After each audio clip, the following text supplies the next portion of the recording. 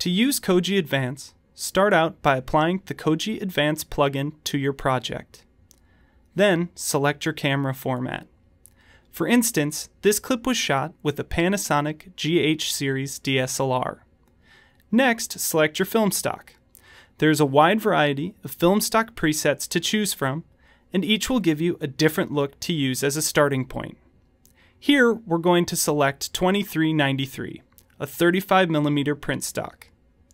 Once you've applied a film stock, you can use the film stock mix slider to make the film emulation more or less pronounced.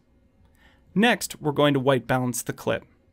Koji Advance includes a powerful auto white balance tool for working quickly, and a temp slider for applying a precise temperature in degrees Kelvin. We're going to use the temp slider to cool this shot down slightly.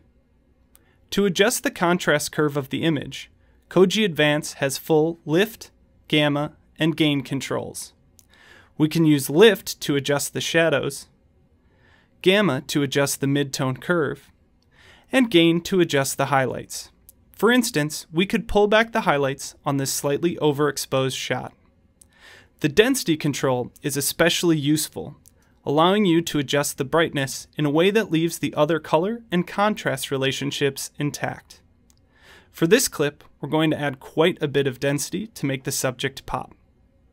To help refine your image further, Koji Advance also includes full printer point controls. These allow you to make very small, precise adjustments to your image. Historically, the look of all films was created using only density and printer points. When combined with the film stocks in Koji Advance, they are still a very powerful tool for shaping images. Koji Advance also includes film grain that you can apply to your clip. There are five film grain stocks. Each film grain stock has been scanned from 35mm negative and provides a subtly different texture. For instance, 5201 is an extremely subtle grain that is barely visible, but it can give some highlights and some subtle magic. 5279, meanwhile, is much more obvious. Any of the film grain stocks can be made more or less obvious using the film grain contrast control. You can add more contrast to make the grain more obvious, or less to make it more subtle. The film grain saturation control allows you to desaturate the grain if you like. This is useful with black and white film stocks where you don't want to include the color of the grain. Finally, the film grain mix control allows you to mix more or less of the grain into your image, giving you another way to control the subtlety of the grain.